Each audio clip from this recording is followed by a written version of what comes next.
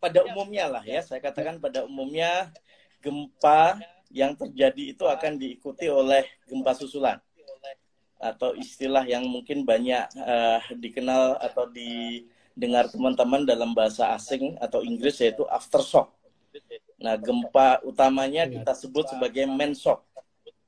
Ya, yang terjadi dengan skala 5,6 skala Richter di Cianjur ya saya uh, tentunya melalui jalur ini juga uh, turut berduka cita untuk para korban gempa.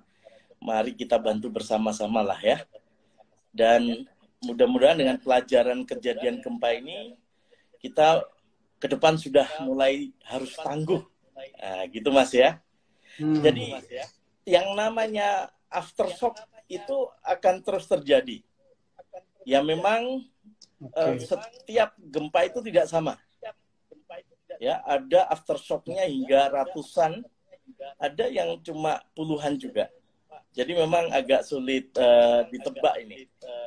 Tapi lama-lama pasti akan semakin mengecil.